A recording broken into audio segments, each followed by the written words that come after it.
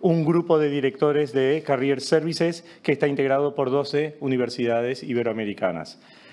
Quiero aprovechar, eh, antes de eh, comenzar con este evento de cierre, a eh, saludar a estas universidades que forman parte de este grupo, que son la Universidad Austral, la Universidad de La Sabana, la Universidad de Piura, la Universidad de Villanueva, la Universidad Internacional Cataluña, la Universidad Hemisferios, la Universidad Panamericana, Universidad de Navarra, Universidad de los Andes, Andes CEU de San Pablo y CEU Cardenal Herrera. Recordemos que este programa tiene como foco ser el punto de encuentro entre estudiantes, comunidad universitaria en general, alumni y líderes empresariales para juntos trabajar, reflexionar, debatir, compartir conocimiento y experiencias, proponer ideas e impulsar proyectos en torno a lo que es el tema del empleo en eh, la actualidad. ¿Sí? Hoy cerramos este ciclo con un panel de invitados, agradecemos la, presencia de ustedes, ¿sí? para eh, que forman parte de eh, reconocidas empresas, ahora los voy a presentar, para que eh, veamos también, tengamos también la mirada de ellos desde la perspectiva de lo que es esta realidad. Quiero empezar eh, presentando a Patricia Blanco, eso de este lado hacia allá. Patricia es contadora, egresada de la Universidad de, Montevideo, tiene un MBA en la Wharton School eh, de la Universidad de Pensilvania, ¿sí? y ella, eh, tras acumular una vasta experiencia como consultora en estrategia de operaciones, en 2020, en el año 2020, se sumó a Mercado Libre como Head Leader de Mercado Pago para el mercado de Uruguay y de Perú. Y en 2021 asumió como Country Lead de Mercado Libre, eh, eh, Country Lead de Mercado Libre en Uruguay. Bien, tenemos a eh, Inés, gracias por eh, acompañarnos también, contadora pública de UDELAR y, egresada de MBA de lo que es IEM, del IEM. ¿sí? Eh, actualmente gerente general de Manpower Group Uruguay, empresa reconocida, de reconocida experiencia que brinda soluciones innovadoras en lo que es capital humano a compañías multinacionales y nacionales. Gracias. Y Alberto, este, economista egresado de la Universidad de la República, también con MBA de la Wharton School de la Universidad de Pensilvania. Ingresó McKinsey, a la firma McKinsey en el año 2008 y tras haber trabajado en las oficinas de Madrid y de Santiago, fue asignado como uno de los responsables referentes de lo que es la, de la apertura de la oficina aquí en Montevideo, en Uruguay. Gracias por estar con nosotros. Y eh, vamos a ingresar eh, al tema de cierre que lo que busca es englobar eh, toda una serie de sesiones, de exposiciones que se han hecho por profesionales de las diferentes universidades en las diferentes universidades que forman parte del grupo y eh, como mencioné anteriormente, la idea es ver de eh, conocer la realidad local y la perspectiva de los profesionales que nos, eh, que nos acompañan. Comencemos. veamos, Inés. Inés, ¿qué busca hoy desde la perspectiva de ustedes? ¿Qué busca el empleador hoy como talentos en el mercado? Ustedes que tienen la difícil tarea de buscarlos, seleccionarlos, reclutarlos para posteriormente insertarse en el mundo laboral de las empresas. Sí, es verdad. Eh, me acerco un poquito para que se escuche. Eh, nosotros, por nuestro core, estamos como que todo el tiempo eh, reclutando gente. Y bueno, y quizás podría decir que la característica común que buscan los empleadores a la hora de seleccionar una persona para sumar a su equipo tiene relación con lo que llamamos accountability. Esta es una palabra anglosajona que no tiene una traducción exacta al español, pero que tiene que ver con eh, hacerse cargo de la responsabilidad que implica el puesto para el cual estoy, voy a estar contratando. Eh, hacerse cargo de la responsabilidad que implica el cargo para el cual eh, voy a estar contratando y implica también gestionar los resultados. Entonces, eh, cuando vamos a contratar a alguien, queremos una persona que asuma la responsabilidad que implica esto, ¿no? Eh, y esta palabra accountability es muy importante cuando estamos encima, no solo estamos buscando una persona, sino que además estamos buscando un líder. Eh, ¿Por qué? Porque un, líder tiene que hacerse cargo. Y yo diría que, bueno, capaz que no para todo el mundo, pero nosotros que estamos en esto, eh, creo que es una, habilidad que es fácil de distinguir en aquellas personas que lo tienen, eh, porque son personas que, mm, que, no andan con facilismos. Viste que hay veces cuando tú tenés una persona en el equipo y le preguntás, eh, le pedís que rinda cuenta, te empieza a conversar, te da vueltas. Y a veces nosotros eso, a eso le llamamos, te ponen excusas, ¿no? Eh, necesitas, cuando tú quieres contratar a alguien, querés a alguien que lleve a cabo acciones y que pueda rendir cuenta de lo que hizo. Mira, esto fue lo que yo entendí, que, que se esperaba, esto fue lo que yo hice con mis aciertos y con mis errores pero puedo rendir cuenta y puedo poner el cuerpo de lo que salió bien y quizás lo que no salió tan bien y vamos a ir aprendiendo, ¿no? Eh, esas otras personas que quizás no asumen esa postura, eh, son esas personas que, como te decía, que quizás buscan a quién echarle las culpas, ay, porque el sistema no funcionó, no, porque no me llegó la mercadería y entonces eh, no, eh, viste, o pones excusas. No, esto es, mira, esperamos. Tiene que hacerse. Lo, tiene que hacer y lo, tenés que hacer tú, y lo esperamos que tú lo hagas, ¿no? Entonces, son personas que eh, cuando una empresa busca contratar, busca una persona que tenga la, meta en, la mente, que pueda remover los obstáculos que se nos van a ir presentando, que pueda ir resolviendo problemas. Y, son, estas personas son personas que realmente generan cambios, eh, hacen que las cosas sucedan, ¿no?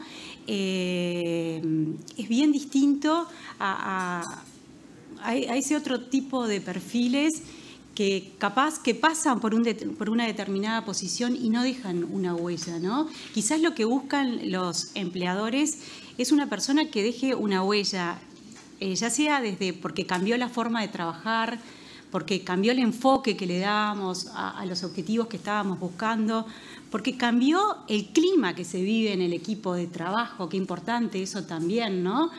Eh, porque hizo que la gente fuera a trabajar con entusiasmo, eh, que fuera con ganas, que, miraran las cosas desde otra perspectiva. Eh, ya te digo, son personas y, y, los empleadores lo que buscan es personas que puedan dejar la huella, digamos, lo resumiría un poco así. Y para eso, bueno, Ah, no.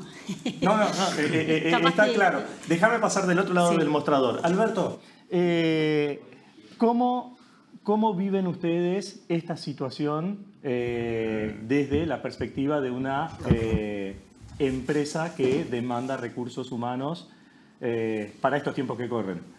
Sí, un poco parecido a lo que, a lo que decía Inés, ¿no? Accountability es crítico. Miramos, nosotros miramos como dos, dos grandes dimensiones, ¿no? La dimensión, si querés, interpersonal y después las más, eh, si querés, más analíticas, más matemáticas. La parte interpersonal, vemos temas como la, la capacidad de ponerse metas ambiciosas, que, las, que las, las, personas que están por entrar a McKinsey sean personas que realmente quieren conseguir grandes cosas y que realmente tienen ambiciones, en, en el buen sentido de la palabra, buenas, buenas ambiciones que trabajan muy bien en equipo, que son gente que, trabaja en equipo multidisciplinarios, hoy en día más importante que nunca, que, puedan interactuar bien con perfiles de, distintas em, características y sobre todo que tengan em, habilidad de, adaptarse y de escuchar. ¿no? Para trabajar en equipos es clave tener esa habilidad de, escuchar, de, ser creativos, de, adaptarse. ¿no? Entonces eso, es la parte que es más interpersonal son personas ambiciosas, capacidad de adaptarse y muy, y muy creativas. ¿no? Tiene que ser gente que quiera pensar diferente y que, y que, encuentre soluciones no convencionales a los problemas. Y después del lado de la parte más, más dura, eh, más cuantitativa, le damos mucha importancia al razonamiento crítico, ¿no? que sepan estructurar los problemas, que sepan pensarlos en, de una manera bastante holística y usando mucho el razonamiento lógico-matemático. ¿no? Esa es la parte, si querés, más dura de la consultoría, que es eh, ir a, las, a los, a los facts y a, entender cuáles son los, los, elementos que están detrás de los problemas para poder solucionarlos. Entonces esas dos, esas dos dimensiones son las más importantes. Después, obviamente, a medida que van entrando, los vamos, los vamos formando y los vamos ayudando, pues ninguna persona viene con todo eso listo, eh, pero eso es lo que vamos viendo. Muy bien. Patricia, eh, hace un tiempo se viene hablando mucho de lo que es eh, la importancia de las habilidades blandas en lo que es el recurso humano en una organización como eh, Mercado Libre. Este, ¿cómo, eh, ¿Cómo se da eso? ¿Cómo se maneja eso? ¿Y cómo se hace para que todo cuadre y eh, una organización de, eh, de, la magnitud de Mercado Libre eh, no vea su rumbo no comprometido, pero que sea más difícil llevarlo por el camino que queremos? A ver, gracias por la pregunta. Es un desafío enorme para nosotros, eh, sobre todo lo que tiene que ver con la cultura. Nosotros hoy tenemos más de 34.000 personas, creo que es en todos los países. En Uruguay somos más de 1.500, es un montón para Uruguay. Y es mucho más fácil eh, mantener la cultura, de, sobre todo una empresa como nosotros, que arrancó hace no tantos años, ¿no? hace un poco más de 20 años, como una startup. Y ahí es muy fácil entender cuál es la cultura, qué es lo que nos, nos vincula, el propósito por el cual estamos haendo esto, ¿no? y arremangándonos y tratando de cambiar algo y de repente creces y es, bastante más difícil parmear esa cultura cuando estás hablando de miles de personas. Entonces nosotros ponemos muchísimo, muchísimo foco en todo lo que es el, proceso de entrar a, Mercado Libre. De hecho, es un proceso largo. Nuestro proceso de selección es largo, adrede, está diseñado para que tengas que conocer a muchísimas personas y, buscamos ver un poco, como decía Alberto, miramos dos cosas. Eh, una de ellas que miramos es el fit con el rol, ¿no? Que depende de qué tipo de rol estoy buscando. Si busco un programador, es distinto si busco un operario para un centro logístico, si busco a alguien que es un ejecutivo de negocios, digamos, son perfiles distintos y tengo que entender que tenga las capacidades técnicas que se necesita pero la mitad por lo menos de la evaluación pasa por cómo es ese fit cultural que tiene con la cultura de Mercado Libre, que es una cultura muy particular, de una empresa muy ágil, de un ADN emprendedor, que nos gusta decir, a nosotros nos gusta que vengan y sean emprendedores adentro de Mercado Libre, entonces que vengan a, pedir perdón y no, y no, y no permiso, que, estén, o sea, que nunca estén frenados, ¿no? que estén siempre pensando qué puedo cambiar, qué puedo hacer distinto. Eh, de hecho, en los primeros días, cuando alguien entra a Mercado Libre, nosotros no hacemos un onboarding, si fuéramos a dar de vuelta a palabras en inglés, sino que hacemos un onboarding. Le decimos, ¿entraste? Acá te paso una lista de personas que creo que deberías hablar para escuchar y aprender. Arreglate, ¿no? Eh, eh, de alguna forma acá está tu computadora, acá está este es tu jefe, pero, pero vos tenés que ser dueño y empoderarte desde el día uno. No, va, no vamos a venirte recursos, miles, eh, todo el mundo está dispuesto para responder las preguntas que tengas, pero vos tenés que preguntar. vos tenés que hacerte cargo y, ir un poco lo que hablaba Inés de, de accountability. Desde el día uno se vive en todos los roles. Entonces te diría que ponemos muchísimo foco en eso, en el proceso de selección, en la cultura, en vez que tengas fit con esto de, querer venir a proponer y no venir a, levantar los problemas, que hay miles en todos, sino cómo los resolvemos. Y incluso tenemos en la etapa de las entrevistas, eh, para, ya para roles que son un poquito más senior, la última, la última entrevista es una, una entrevista puramente de fit cultural, que la hace una persona que no tiene nada que ver con el que lo está contratando, de otra área, y opina. me parece que esta persona está, está ok con el fit cultural. No tengo ni idea de la parte técnica porque no va a trabajar conmigo o no. Y, me preocupa que pueda tener una cultura que no se adapte a la compañía. Así que te diría que para nosotros es difícil, es muy difícil, pero hacemos mucho al ingreso y después ni hablar una vez que estamos adentro. ¿no? Hay muchísimas cosas que hacemos para proteger la cultura de mercado libre promoverla, recordar el propósito. Nosotros somos una compañía que vive muy, muy ah, en carne viva, si se quiere, el, qué queremos hacer, que queremos democratizar el comercio y el dinero para transformar la vida de millones de personas en Latinoamérica. Y entonces cuando estamos en toda, todo tipo de cosas que te puede aparecer todos los días, decís, ¿esto me ayuda a eso o no? ¿Este producto ayuda a democratizar si estamos pensando en hacer algo nuevo? Pues es un producto muy de nicho para no, entonces no es por donde vamos, ¿no? Entonces es algo que todos los días estamos tratando de recordarlo, eh, pero diría que es eso, poniéndole mucho foco, mucha atención y, foco en la cultura por encima de cualquier otra característica de las personas. Bien, bien. Me da curiosidad, este, Inés, preguntarte a vos, que eh, están un paso antes que las organizaciones y les deben de llegar estas demandas. ¿Cómo es la realidad eh, cuando al embudo llega un montón de gente? Eh, de tener la, eh, eh, la disponibilidad de recursos con estas habilidades blandas. ¿Qué se ve en el día a día en el mercado? ¿Cómo estamos? ¿Estamos bien? ¿Nuestros muchachos, nuestra gente llega preparada con eso? Depende, depende un poco de, la formación, te diría, ¿no? hay, hay, algunas carreras en las cuales estas habilidades se ven un poco más claramente y eh, quizás carreras más duras, eh, donde falta quizás eh, el desarrollo de estas habilidades blandas, ¿no?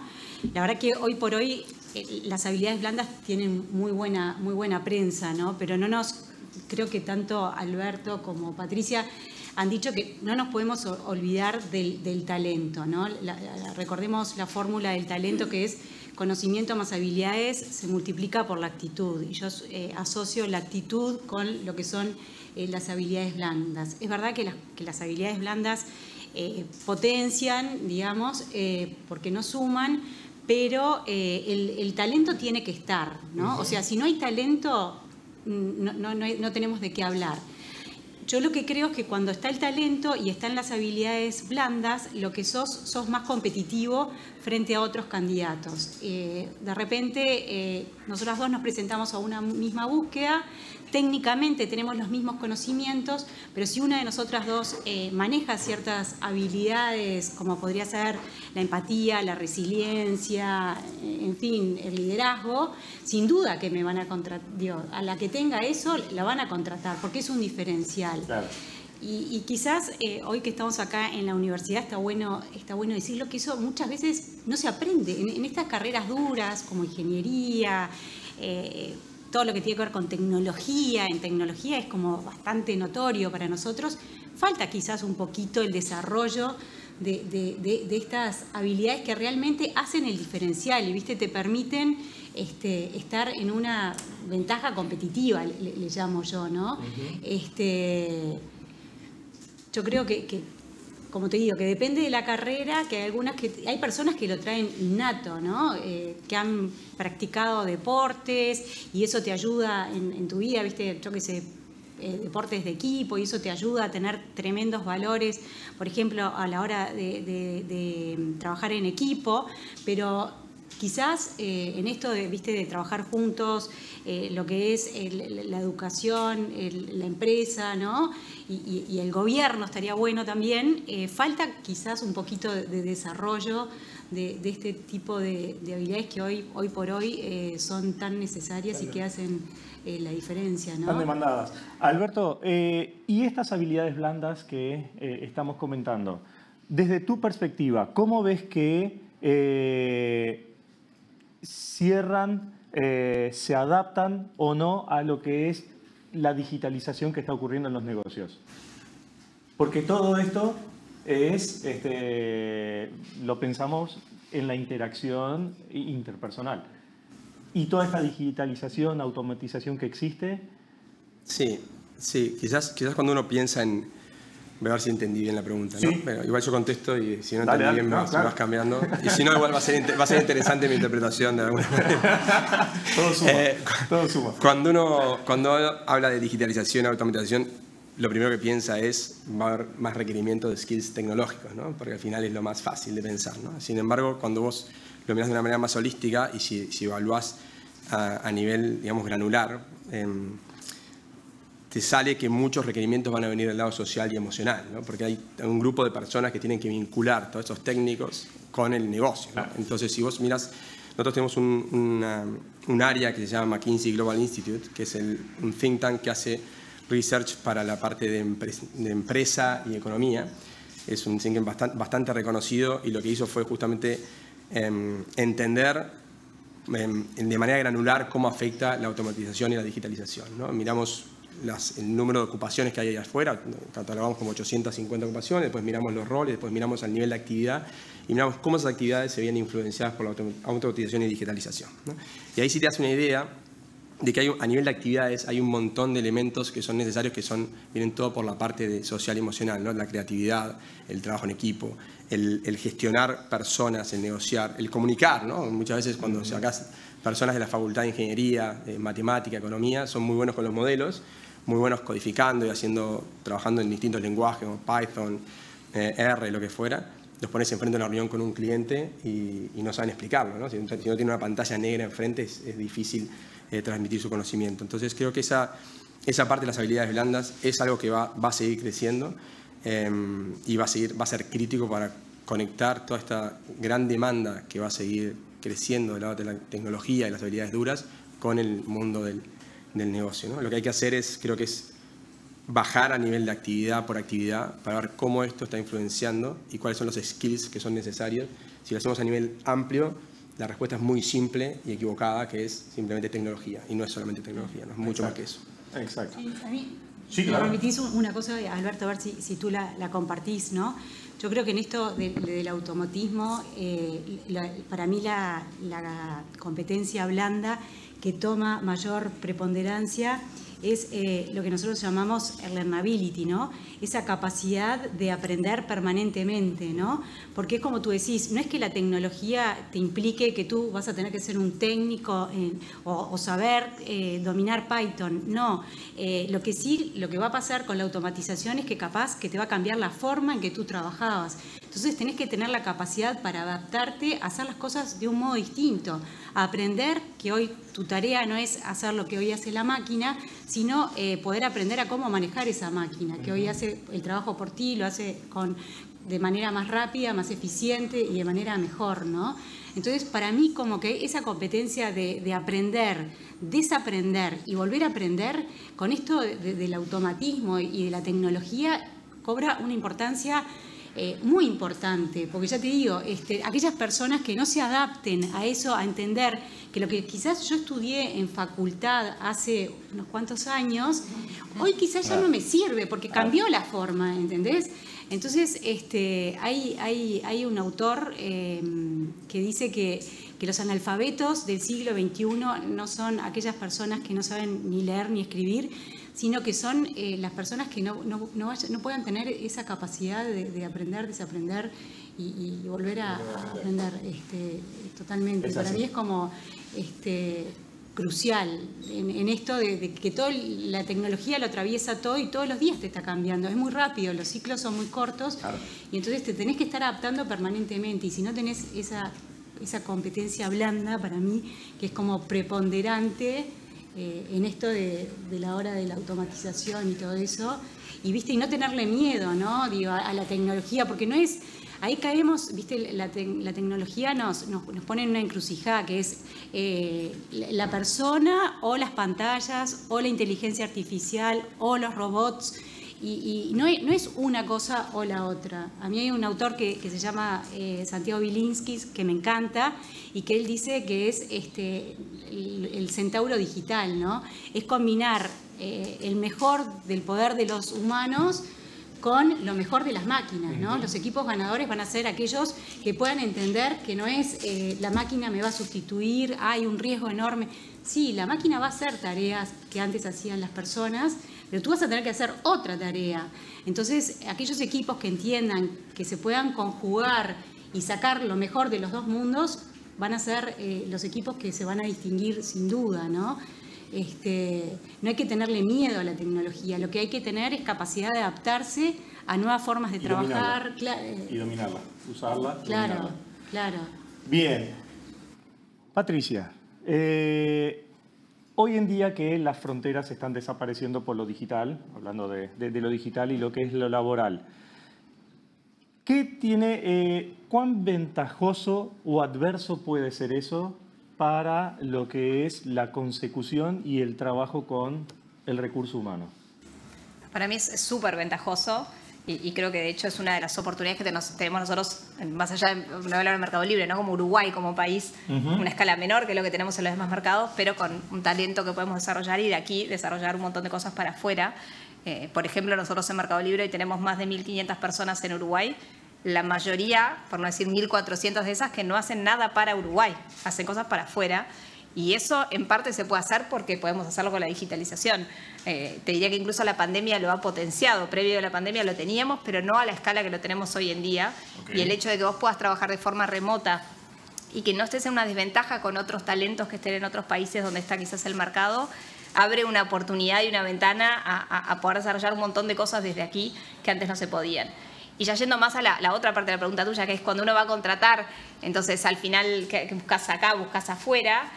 Eh, creo que estamos evolucionando no de un día para el otro, pero creo que cada vez más estamos caminando al que uno busca talento. Nosotros en Mercado Libre, muchas, muchas de las búsquedas que tenemos no tienen un país específico, sino quizás saber para roles más de, entrada, sí, porque se suma un equipo, entonces dónde está el equipo y es bueno para esa persona que se suma un lugar donde esté sus compañeros y por todo lo que yo te hablaba de cultura también antes, es, muy importante que vos vivas y que al principio en tus primeros años de carrera aprendas de otras personas que te, que te lo enseñen.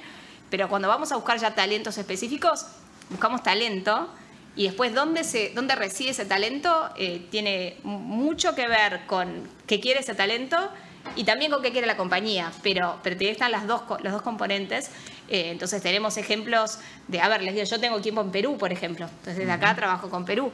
Tenemos en Uruguay un montón de gente que vive en Uruguay y trabaja por otros mercados, como tenemos gente en otros mercados que trabaja por otros mercados. Entonces para mí las fronteras están desapareciendo bastante, o al menos algo. Creo que la pandemia también nos empujó a eso y parecería ser, por lo menos lo que vemos nosotros, es que eso no, va a cambiar, no es que ahora que la pandemia estamos saliendo, volvemos para atrás y queremos que todo el mundo viaje lo que viajaban antes o esté necesariamente en el lugar donde está trabajando. Sí, es importante conocer los mercados en los que uno opera, ¿no? Entonces, seguramente no, se puede llevar al extremo, pero creo que hay muchos roles para los cuales las fronteras están desapareciendo y de alguna forma uno no sé si busca en el mundo, porque buscar en todo el mundo es complejo, zonas horarias y todo, pero sí en la región pasa a ser como es un pool de talento donde todo vale. Claro, pero eso genera otra presión, ¿por qué? Porque como nosotros podemos conseguir afuera, otros pueden conseguir acá y capaz que tengo a mi vecino trabajando para eh, ese es el riesgo también de... Y es súper sano, ¿no? Y bienvenido si, la competencia. si, al final, creo que como siempre, todo termina, cuanto más oportunidades mejor, eh, el talento bueno va a buscar la mejor oportunidad que pueda encontrar y creo que como empleador o como compañías, uno lo que tiene que buscar es tener una buena propuesta de valor. Si, si, si, si, está, si se dificulta contratar talento porque alguien más se lo está llevando, creo que hay que mirar para adentro también, entender qué es lo que podemos... O sea, para ese talento quizás en, algunos casos particulares es, por el talento en especial o por lo que está buscando, pero si uno confía y arma una buena propuesta, por lo menos nosotros le ponemos mucho foco en ser un, gran lugar para trabajar. Eh, entonces, mucho más es lo que tenemos nosotros para ofrecer que, que, el resto y es una de las definiciones que tenemos. Desde el día que se fundó hay videos ahí eh, viejos que dicen vamos a ser uno de los mejores lugares para trabajar en el mundo y, es algo que nos tomamos bastante en serio, decir, bueno, ¿cómo hacemos? ¿Qué es lo que tenemos que dar? Desde, por ejemplo, hoy en día todo el mundo la flexibilidad para nosotros es muy importante. Esto que yo hablaba antes de poder trabajar remoto y es algo que nosotros mantenemos, es, es algo crucial al corazón de, Mercado Libre que nuestros empleados valoran mucho. Eh, un montón de, de, beneficios, de cultura, de cómo hacemos, trabajamos en equipos, hay un montón de cosas que uno puede hacer en el día a día y creo que el punto es pararse sobre esa propuesta y nada, ir a, competir. Eh, Patricia, Alberto, Patricia me dio pie eh, y dijo algo del trabajo remoto eh, y, todas esas facilidades que en parte estuvimos obligados a, a, recurrir, pero que hoy en día, bueno, tal vez se podrían prescindir, pero que se mantienen. En el caso de ustedes, en el caso de tu organización, ¿cómo fue la vuelta a, a esta normalidad? ¿Costó adaptarse? No, creo que, bueno, creo que estábamos, McKinsey es una, trabajamos mucho de manera remota previa a la pandemia, entonces la pandemia fue algo que no nos, no nos sorprendió en ese aspecto, estábamos preparados quizás mucho más que otras organizaciones para, para trabajar en manera remota, ¿no? Todos trabajamos varias horas, no solamente en la oficina, sino también en, en distintos lugares, aeropuertos, en nuestras casas, entonces al final estás preparado para trabajar de manera remota. Em, igual creo que el modelo, no es, el modelo ideal no es el de la pandemia, ¿no? es un modelo completamente remoto, no funciona. Nosotros estamos buscando de manera creativa y lo más ingeniosa posible un modelo que, que funcione. ¿no? Todavía estamos en el proceso de encontrarlo, que involucre mucha flexibilidad, como decía Patricia, es clave la flexibilidad, porque hoy en día las nuevas generaciones quieren esa flexibilidad, la, vieron en la pandemia y ahora la, la quieren mantener, y eso es, eso es crítico, eso lo estamos manteniendo en, en, McKinsey, pero también estamos buscando qué instancias son las relevantes para mantener en, la oficina. ¿no? Hay temas que vos querés em, enfatizar, o que es mantener de cultura, como mencionaban, em, y, y, eso lo, lo tenés cuando formás parte de una organización, cuando estás en la oficina, todo lo que es camaradería, lo que son las reuniones, la innovación y la creatividad en manera presencial es mejor que en manera remota. A nosotros nos funciona mejor eh, discutir cuando estás con problemas bien complicados de estrategia para un cliente. Discutirlo de manera remota no es lo mismo que discutirlo con un whiteboard enfrente, eh, seis personas em, sacando los números, proyectando distintas pantallas. Esos son como reuniones bastante más intensas que funcionan, todavía siguen funcionando mejor. No digo que en algún momento no vayan a pasar al mundo digital, hoy sigue siendo hay instancias que siguen siendo mejor en la parte de manera presencial que de manera remota. ¿no? Entonces estamos buscando ese modelo. A nivel, si quieres, personal, para los consultores, el poder trabajar remoto y que sea más aceptado el trabajar remoto, que es otra cosa que después podemos hablar, eh, nos facilita la vida personal. El consultor vive viajando. ¿no? Yo me acuerdo de tener, de tener semanas pre-pandemia, de dormir tres noches por semana en los aviones. Eso, eso no existe más, ¿no? Por varios motivos. Creo que es bueno incluso para el planeta no dormir tres noches por semana en los aviones. Eh, pero también es bueno para lo que es el, mantener una, una, vida personal y, y, de trabajo más balanceada. Sobre todo los que, los que somos padres y tenemos hijos, queremos también estar un poco en casa. ¿no? Entonces creo que hay, como respuesta al mundo de remoto presencial, hay que ser muy, muy creativo y escuchar mucho a los, a los empleados para definir un modelo que funcione para todos. No, no es ni el, ni el de la pandemia, ni el, ni el previo a la pandemia, es un nuevo modelo en el cual tiene que tener instancias remotas, que es flexibilidad, y instancias presenciales que promueva el sentido de pertenencia, el sentido de cultura y también la creatividad y la innovación para las, las organizaciones. Bien. Eh, Inés, ¿cómo ves eh, desde tu experiencia el, los talentos locales eh, en comparación a los talentos de la región, de otros países. ¿Cómo estamos? Muy generalmente hablando, ¿no? Obviamente hay mucho detalle en eso, pero... Sí, yo creo que, estamos bien en general. Eh, eh, la verdad que siempre me alegro de, escuchar permanentemente historias de uruguayos que realmente han, han sido muy exitosos muchas veces no en nuestro país, este, pero que han hecho cosas realmente destacadas. Eh, y obviamente también hay buen talento, fronteras, eh, ¿no? más allá de, nuestras fronteras.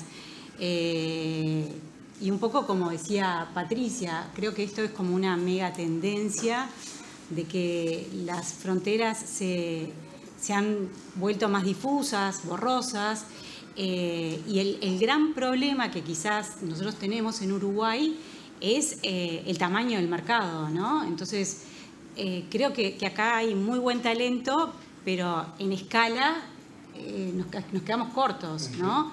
Entonces, ni te digo cuando a veces buscas talento y que tenga inglés o una segunda lengua o, lo que sea, cada vez se restringe más. Pero entonces muchas veces también por un tema de escala es necesario eh, pensar fuera de fronteras. Y la verdad que a mí en ese sentido, eh, como que me gustan también los equipos diversos eh, e inclusivos. Y creo que esto de a veces incluir talento extranjero en nuestros equipos hace a la diversidad. Cuando somos todos iguales es difícil cuando tenés que pensar una solución distinta a un problema, porque si si por un camino no llegás a resolver un, problema, tenés que intentar por otro lado. Cuando somos todos iguales es difícil que se nos ocurra ese otro camino. Entonces creo que esto de, la diversidad como que enriquece mucho a los equipos y nos permite esto que es hoy tan valorado como es la innovación, como es la creatividad, que Alberto también eh, mencionaba. Entonces creo que esto del talento extranjero también enriquece eh, y, y para mí, viste, no va hoy por hoy no va por el talento nacional o extranjero, no va por hombre, por mujer, joven, más grande. Hoy lo que las empresas buscan es talento, ¿no? Y que, las personas se puedan diferenciar en base a, eso. Este, no importa si está acá, si está más lejos, después tendremos que ver cómo creamos esa cultura que, queremos que nos identifique, como decía Alberto, que es algo que quizás con la pandemia cambió la forma de trabajar y, las empresas todavía están este, buscando cuál es la mejor forma de crear la cultura que nosotros queremos, ¿no? En esta nueva época. Sí, en esta, en, tal cual. Bien, eh, como para ir eh, redondeando eh, esto que hemos, estas ideas que hemos compartido, lo que les quiero pedir es, un, a modo de cierre, un consejo que cada uno de ustedes le podría dar a las nuevas generaciones eh, que todavía se están formando que o que ya se formaron y están en el mercado eh, laboral eh, respecto a esto del accountability, respecto a esto de las habilidades blandas? ¿Qué les dirían? ¿Empezamos? Patricia. Arranco. A ver, creo que pondría mucho foco a mí, un poco lo que hablaba Inés, yo no comenté, pero para nosotros también es súper importante este tema de, aprender, ¿no? De, buscamos, de hecho, una de las cosas que miramos cuando contratamos personas o cuando evaluamos talento que ya está dentro de la compañía es hablamos de talentos pueden ser más como eh, profundos, o sea, técnicos, por ejemplo, alguien que tiene un rol muy, no sé, un abogado con especialidad en tal cosa y un rol específico de eso.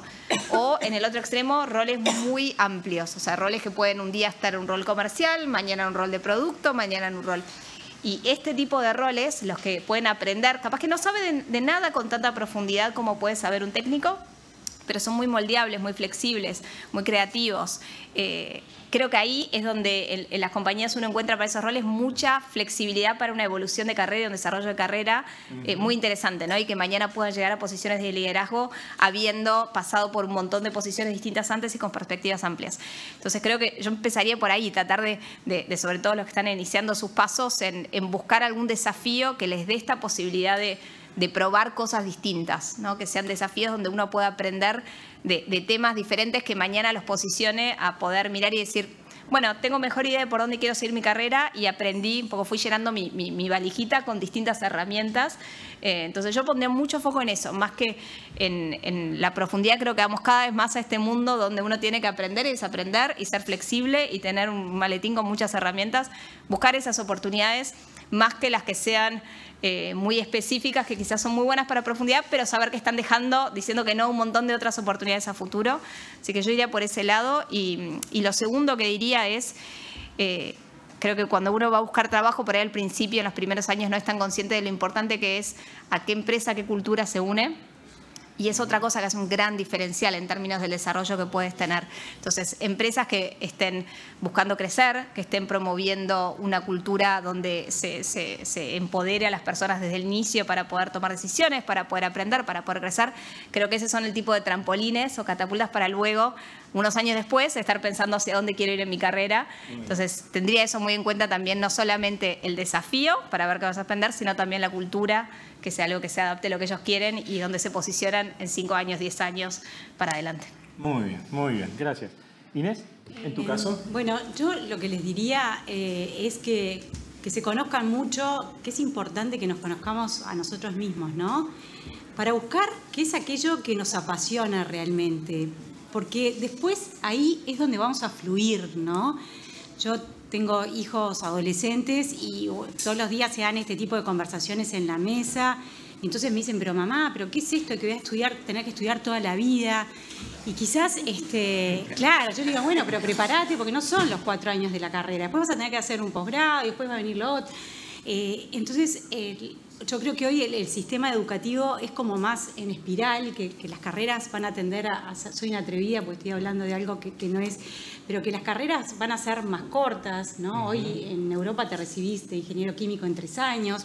Y entonces como que se van a ir construyendo un bloque sobre otro, ¿no?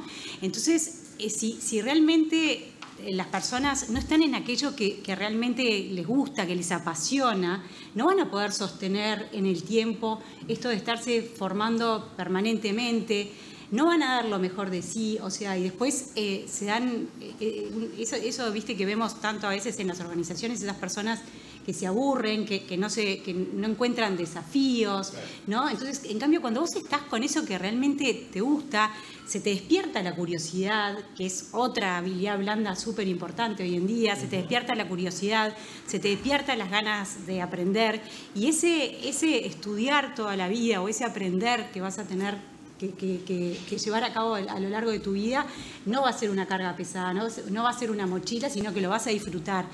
Y, vas a disfrutar cuando te formes, vas a disfrutar cuando estés en una organización, integrando equipos de trabajo. Y eso yo creo que hace que, ¿viste? O un emprendimiento propio. O un emprendimiento propio, por supuesto, eh, que todo florezca, ¿viste? Digo, que, que, vayas con alegría a, trabajar, que te entusiasmes con los desafíos que se te presentan, que los problemas no sean, uy, un sofoco, sino, bueno, un, un desafío. ¿Cómo, cómo no, hay, no hay problemas sin solución? Yo creo que todos los problemas tienen solución. Lo único que hay veces es que hay que buscarle la forma, ¿viste? Digo, no mirar siempre desde el mismo enfoque, intentar otros.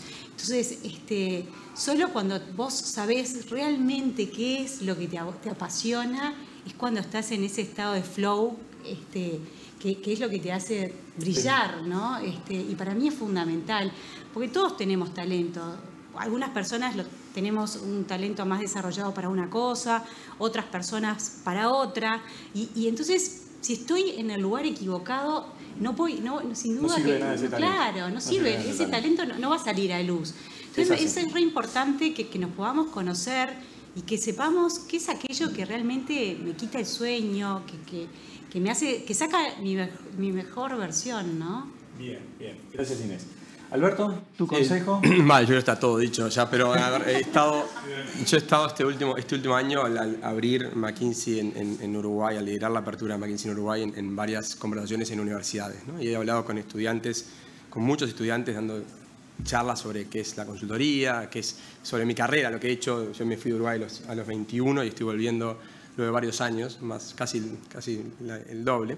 Em, y entonces me encontré con estas, con estas nuevas generaciones. ¿no? Entonces, ¿qué es, qué es el consejo de lo que he visto en este último año? En primer lugar, un poco lo que decía Inés, ¿no? Tener, encontrar lo que les gusta, ¿no? sin volverse locos, porque Inés, no es que todo el mundo tiene una pasión, hay veces que la pasión la tenés que encontrar y tenés que ser optimista en que eso va, a- va a llegar. ¿no? Es- capaz que no todo el mundo puede ser un médico, eh, no sé, cirujano sí. neurológico, no, no, no es, no es fácil tener esa pasión como, como tienen los médicos, pero hay que buscar lo que a uno le gusta sin volverse loco.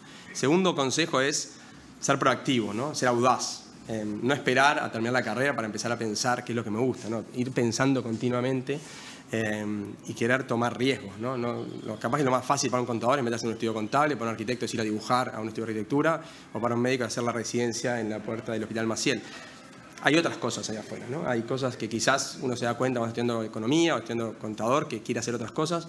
Bueno, exploren y sean audaces. Eh, y el último consejo, y sobre todo para los uruguayos, es que tengan confianza, ¿no? El uruguayo muchas veces es, somos un país pequeño, no hay oportunidades, somos chiquitos. No, hay, se puede hacer todo, ¿no? Hoy en día el mundo, como decía también Patricia, es es- o sea, es- hoy las oportunidades son globales, ¿no? Puedes hacer cosas desde acá, para Silicon Valley, para Europa. El talento uruguayo es muy bueno. Le falta esa confianza y venderse y creerse que pueden hacer cosas grandes. Ese sería mi último consejo, ¿no? Realmente créanselo y, y vayan por, por esas oportunidades porque están ahí. Muy bien, muchas gracias, Alberto. Bueno, de esta manera, entonces queremos eh, cerrar este ciclo. Eh, antes que nada, quiero agradecer a Patricia, Inés, Alberto por eh, acompañarnos, por compartir su punto de vista, eh, la riqueza de eso. Quiero agradecer a eh, quienes están presentes aquí en la sala y también eh, aprovechar a enviar un saludo a todas las personas que a distancia se han conectado con nosotros. ¿sí? Que tengan un, li- un lindo resto de jornada y gracias por acompañarnos.